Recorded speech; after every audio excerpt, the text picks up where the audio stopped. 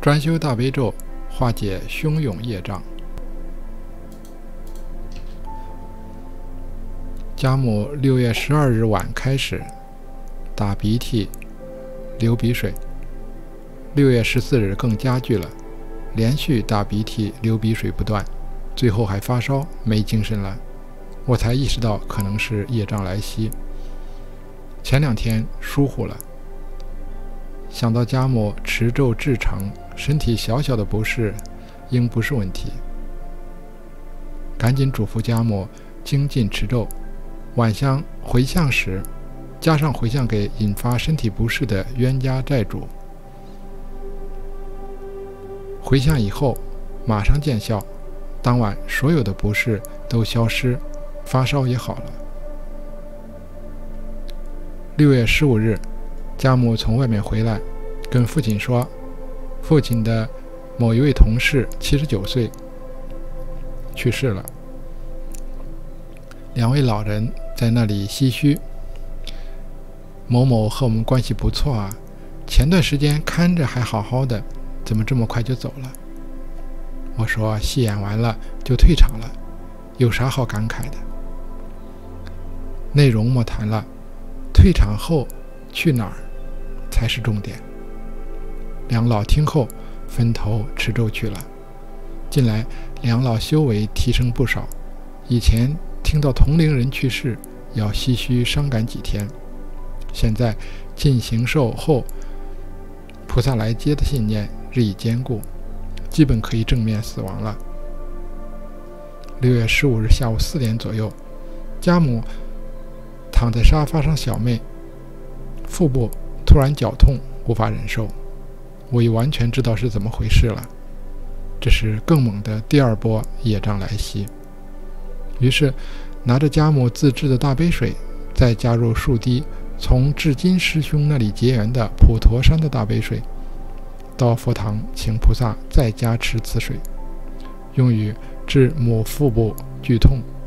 之后，让母喝了两口，再马上与父兄嫂，同时把当日宋持的功德回向给引发。家母腹部不适的冤亲债主。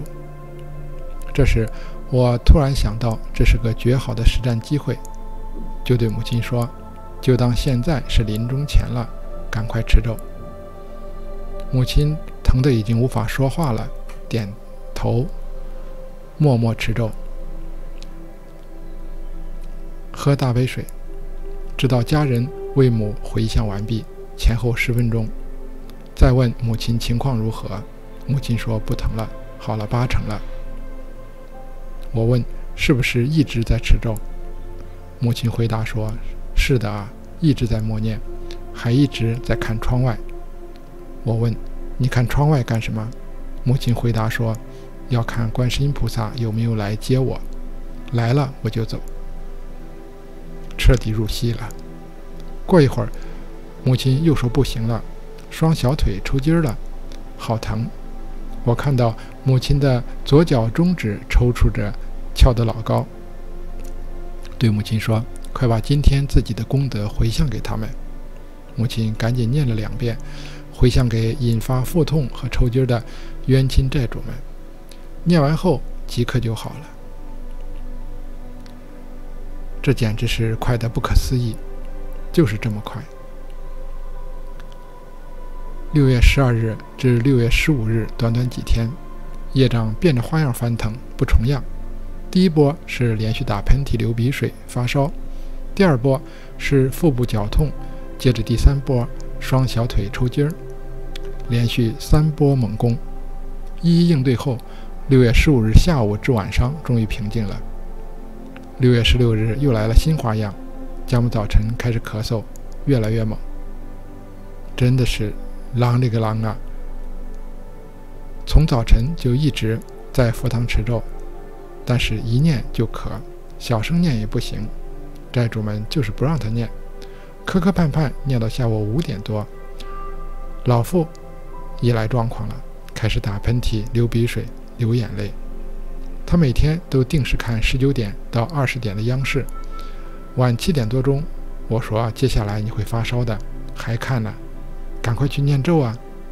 父亲打着喷嚏想了想，最终放弃了焦点访谈，到卧室持咒。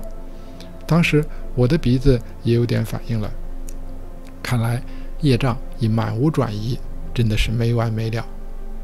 突然想起年初家母头部剧痛时，是忏悔开示持咒搞好的，于是马上让父母反复开示持咒。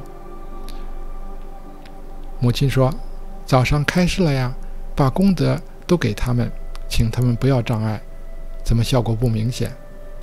我说：“那就再加上一些，内容大致是，请冤亲债主不要妨碍我学佛修行，我们不要冤冤相报。”你们要与我一起学佛修行，等我往生极乐后，一定会来度你们。母亲在开示时全身发麻，这句非常重要，是冤亲债主最想要的。等我往生极乐后，一定会来度你们。这一句话，父母持咒期间间隔开示了两次，终于 OK 了。父亲大赞神奇，持咒一小时。间隔开始两遍后，症状全消，梁老好了，我的鼻子也好了，今天家人状态都平稳得很，算是过关了。经此，梁老更加深刻体会到了无常就在呼吸间。短短几天，业障变着花样向家母发起猛攻，这意味着什么？你慢慢悠悠的修，完全不守身口意，这边修那边漏。冤亲债主们懒得理你，你就等着随缘受报吧。衡量精进的标准之一就是业障来袭。家母将于六月十七日入精进群，就要跑了。冤亲债主怎能甘心？冤亲债主这么着急上火，正好证明了精进群是正法群，是能了生死的。此乃定业不可转。因家母修行了，身体大为好转，蒙菩萨加持，化重报为轻寿。但即使是轻寿，都如此厉害。我仔细观察了家母腹痛时的身体状况，神儿都已经散了两三成了。如没修行，以以前的身体状况，重报来袭，肯定扛不住。每年都有好几位父辈的同龄人就此受报而离世轮回。总结：业障来袭有蛛丝马迹。家母打喷嚏就是，你不在意就会折腾家具无底线。家母吃亏吃在大意了，家父幸运在反应及时，否则一烧起来很麻烦。化解的方法是忏悔、开示、精进勇猛吃肉或念佛，要间隔着反复开示，最好每天都开示。如有明理的冤亲债主，可能会变成你的护法，连轻报都不用受。